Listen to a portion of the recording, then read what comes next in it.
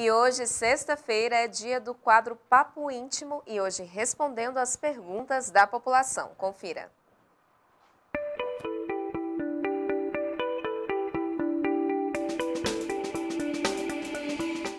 Olá, muito boa tarde para você que está aí acompanhando ao Jornal da Cidade e acompanha agora conosco o papo íntimo desta sexta-feira com ela, doutora Yulia, biomédica, que vai responder hoje a perguntas que foram enviadas por você aí de casa, que nos acompanha pelo Instagram, pelo YouTube e também pelos canais analógico e digital. Doutora, boa tarde, seja bem-vinda.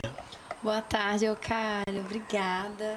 Então vamos às perguntas, né? A primeira chegou o seguinte: como funciona a consulta com a doutora Yulia? Então, que quando você a consulta é super importante, ela tem um papel fundamental. Às vezes as pessoas mandam pra gente através de ah, quanto custa? Quanto é cada sessão?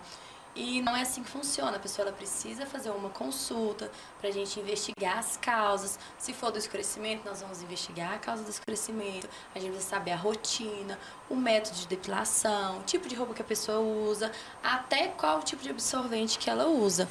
Então, se for flacidez, nós vamos investigar, nós vamos pegar nessa pele, nós vamos passar por uma avaliação física, onde nós vamos fazer toda a análise de pele, de textura, de pigmentação, elasticidade. Se for redução do bom de Vênus, vamos fazer a preguinha para ver ali qual que é a quantidade de gordurinha. E aí sim, juntando essas informações, nós vamos orientar qual vai ser o melhor tratamento, quantidade de sessões, qual o método que nós vamos usar. Então, a consulta é super importante para a gente poder traçar o melhor protocolo para essa paciente. Ou seja, quebrar o tabu e procurar fazer a avaliação, que é o primeiro passo. É o primeiro passo. Vamos à próxima pergunta. A partir de qual idade pode ser feito aí o clareamento íntimo, doutora Yulia? Eu faço parte dos 16 anos com autorização e acompanhamento né, dos pais, da pessoa responsável.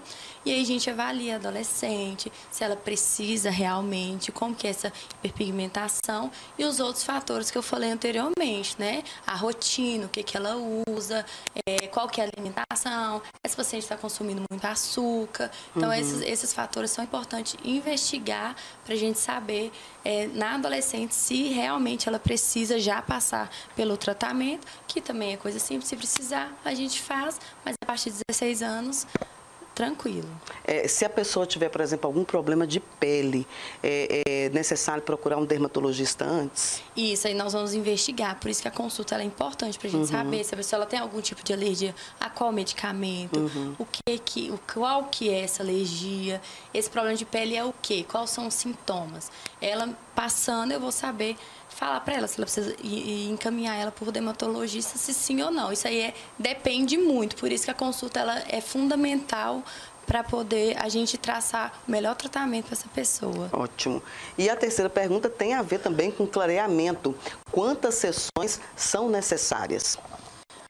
Nós, nós, esses, nós definimos um tratamento a partir de três sessões. Então, sempre que você for no consultório, o mínimo vão ser três sessões.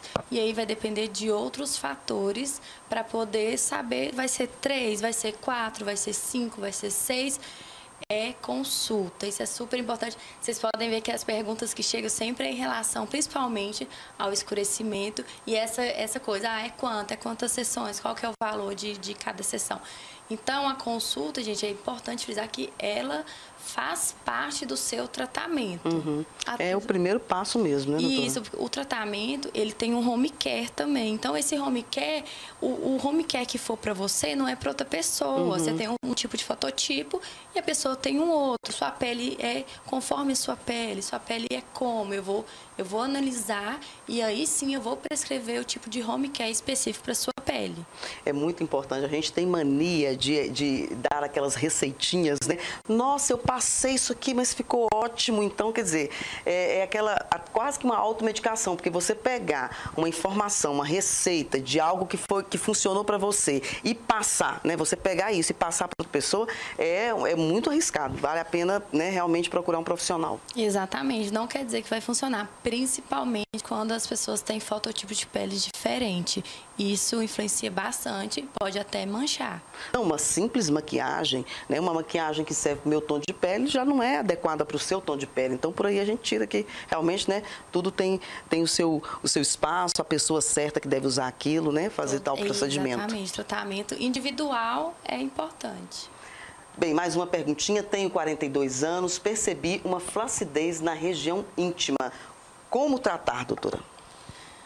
Isso. Geralmente nessa idade, né, a mulher já começa a sentir, passou dos 30, a gente já começa a sentir. Eu já tenho 30, já comecei a sentir esse negócio da queda. Chegou nos 30, começa a cair as coisas. É inevitável. É inevitável, gente. Então é super tranquilo. Toda mulher passa por isso. Então, assim, é uma coisa super tranquilo. É, como que nós vamos tratar essa flacidez?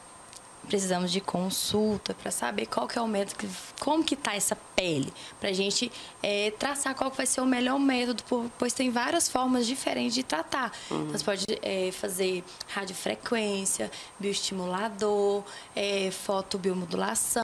Então, assim, é preciso ver como que está a flacidez dessa pele e outros fatores para determinar qual que é o melhor protocolo. Tipo, qual o grau, né?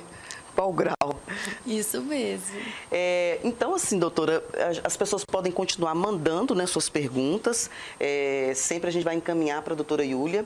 E qualquer dúvida também pode te procurar, tanto pelo Instagram quanto WhatsApp, não é isso? Isso.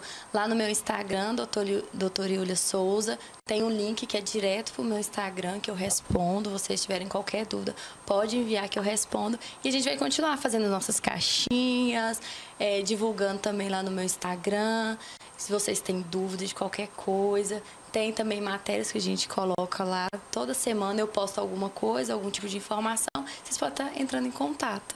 Ah, doutora, eu queria é, até fazer um pedido seguinte. Como é, já, já, já tem pessoas que fizeram esse tratamento, esse procedimento, a gente podia depois trazer, é lógico que de uma forma é, bem inteligente, algum depoimento, né? De como que a pessoa se sentia antes e como ela se sente agora, depois do tratamento, né?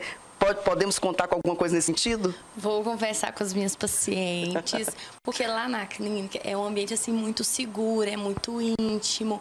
Então assim, as mulheres elas sentem, tem esse tabu, elas sentem vergonha mesmo, mas eu vou conversar com elas para a gente trazer um depoimento e eu já até já tô até pensando em um aqui. Ótimo. Eu sei que vocês vão gostar bastante. É muito importante, não é mesmo? Isso. Mais uma vez, muito obrigada pelas, pelas informações, pelas respostas dadas às pessoas que nos mandaram as perguntas e até a próxima oportunidade. Eu que agradeço o carinho de sempre, mais uma vez poder estar aqui e até nosso próximo papo íntimo.